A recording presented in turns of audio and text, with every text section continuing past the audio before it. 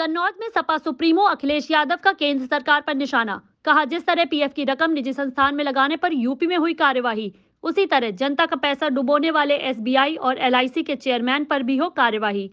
भाजपा जब यूपी में जेल भेज सकती है तो उन्हें क्यों नहीं भेज रही? मुगल गार्डन का नाम बदलने पर भी अखिलेश ने किया कटाक्ष। कहा, यह कल हमें तुम्हें भी अमृत नाम दे सकते हैं। कन्नौज की योजनाओं का भी नाम बदल दो, लेकिन काम तो करो।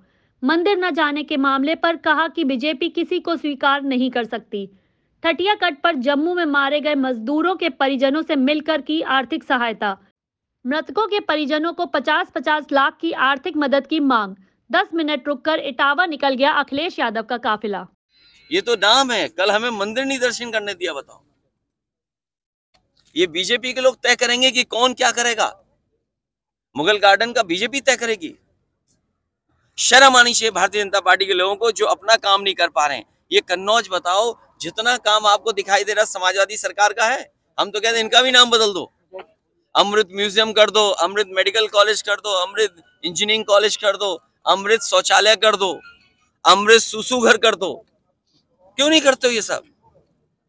क्यों इज़्ज़त घर नाम रखा है? अमृत घर नाम रख देते उसका? ये भारतीय जनता पार्टी की सोची समझिए जिससे आप महँगाई का सवाल ना पूछो, बेरोजगारी का सवाल ना पूछो, जो अन्याय हो रहा है उस पर आप बातचीत न करें। बताओ, बलवंत सिंह की आप मदद क्यों नहीं कर पा रहे? उसकी पत्नी की सरकारी नौकरी क्यों नहीं दे पा रहे आप? समाजवादियों को तो आप कहते थे कि मुसलमान है तो ज़्यादा मदद कर रहे हैं, पिछड़े हैं तो ज़्यादा मदद कर रहे हैं, दलित हैं तो ज़्यादा मदद कर रहे हैं। अब तो सरकार तुम्हारी है।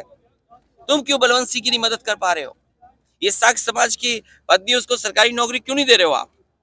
आप तो दावा कर रहे हो मदद करोगे आप? क्यों नहीं मदद कर पा रहे हो आप? ये भारतीय जनता पार्टी के झूठे लोग हैं। भैया अखिलेश यादव मंदिर जाए तो सवाल ना जाए तो सवाल आखिर ये क्या रखें ये भारतीय जनता पार्टी को ऐसी बीमारी है जो बोर्ड से ठीक होगी। भाजपा सांसद कन्नौज जो भाजपा सांसद हैं। उनके बारे में बात मत करो कोई स्टैंडर्ड नहीं उनका। कोई को नहीं? अरे तुम्हें एलआईसी बिक गई यार। एलआईसी बिक गई। एसबीआई डूबने जा रही है। सवाल ये बड़े हैं।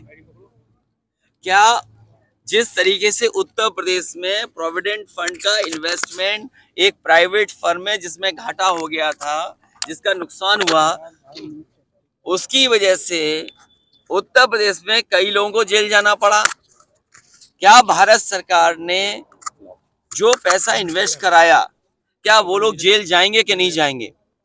मैं तो देखूँगा कि आप कितना न्यूज़ चलाते